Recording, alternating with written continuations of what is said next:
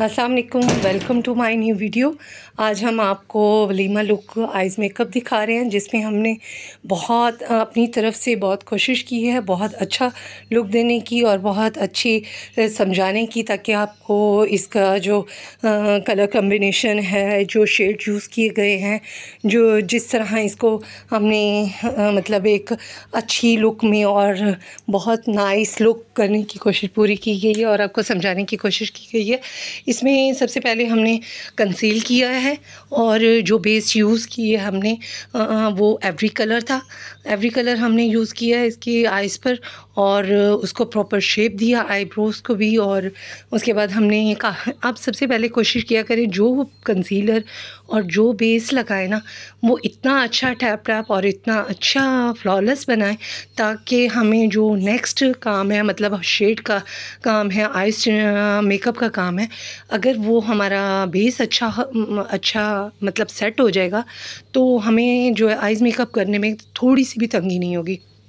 सबसे पहले हमने उसको कंसील किया। कंसीलर के बाद हमने बेस लगाया एवरी कलर शेड लगाया। उसको हमने अच्छी तरह ब्लेंड किया टैप टैप किया वेट स्पंज के साथ। उसके बाद हमने सिल्वर कलर अपनी आईबोन को इन्हेंस करने के लिए उसको खुला लगने के लिए हमने उसका हमने उसका कंसील किया मतलब उसको सिल्वर कलर से। उसके बाद हमने ब्राउन शेड लिया। ब्राउन शेड से हमने कॉर्नर को, को हमने सेट किया एक शे, शेप दी ताकि उसको नीचे जो ऊपर कलर आए वो बहुत अच्छे लगे। ब्राउन और सिल्वर कलर का हमें हमने कम्बिनेशन किया है, क्योंकि ये वलीमा लुक है। वलीमा लुक पे अक्सर लोग ना लाइट कलर के मतलब कोशिश करते हैं। लाइट कलर की मैक्सी या लहंगा जो भी है, उनका चॉइस होती है उसके मुताबिक। तो उसमें अक्सर अक्सर अवकात इस तरह के कलर लगाए जाते हैं। तो हमने पिंक और ब्राउन शेड को मिक्स करके उसको हमने कॉर्नर आईलेट पे हमने ब्लेंड किया। ब्लेंडिंग बहुत अच्छी करनी चाहिए। काम को नीट तरीके से करें, अच्छे तरीके से करें ताकि करने वाले को समझ आए। और ये नहीं होता कि एक दफ़ा लगा दिया जी, शेड फिक्स हो जाएँगे, ये नहीं होता। जो हम चीज़ यहाँ दिखा रहे होते हैं, असल में उसके लिए बहुत मेहनत और मतलब सोच समझ के काम करना पड़ता है। ये नहीं और कोई भी कलर उठा लिया कुछ भी उठा लिया और इस्तेमाल कर दिया नहीं। उसके लिए प्रॉपर हम देखते हैं कि ये कर, सूट पहन रहे हैं तो इसके साथ ये वाला कलर सूट करेगा ये अच्छा लगेगा। उसके बाद मैंने वाइट शेड लिया उसको हमने कट क्रीज़ शेड बनाया, कट क्रीज बनाया ताकि उस पर जो हम और लाइट शेड लगाएँगे, सिल्वर या लाइट पिंक या लाइट ग्रीन कलर लगाएँ तो वो अच्छा लगे इन्हेंस हो, खुल के सामने आए। हाँ जी, हमने इस पर सिल्वर कलर, अब वाइट लगाया शेड। मेरे पास वाइट था आइज़ में लगाने वाला तो मैंने वो लगाया और कट क्रीज बनाई। और उसके ऊपर अब मैं साथ साथ लाइट उसका जो डल सिल्वर कलर होता है ना शाइन वाला बहुत ज़्यादा नहीं, वो वाला लगाया और पिंक दो शेड मिक्स करके। अब ये ब्राउन शेड है कॉर्नर थोड़े डल हो गए थे लाइट हो गए थे तो पर्पल ब्राउन शेड है, उससे मैंने कॉर्नर सेट किया दोबारा।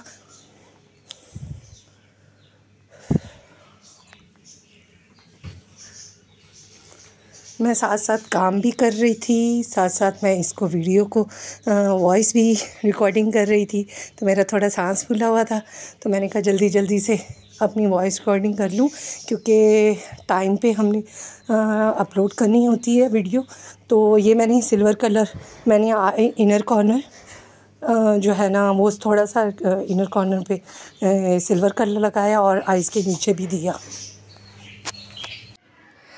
हाँ जी, हम कॉर्नर को हम दोबारा कर रहे हैं। सेट किया है पर्पल और डार्क ब्राउन शेड से। अब इसके बाद हमने लाइनर लगाया। लाइनर हम यहाँ पे लगाएँगे बिल्कुल लाइट बारीक सा। ज़्यादा वो नहीं करेंगे और जो कॉर्नर होगा, जो आई आई कॉर्नर है उसका जो आउटर साइड पे है, उसको थोड़ा सा ऊपर से भी विंग बनाएँगे और नीचे से भी, ऊपर से थोड़ी सी शेप देंगे लाइनर को, ताकि जो सिल्वर कलर है, जो हमारा मेकअप है आइज़ का, उसकी लुक अच्छी आए।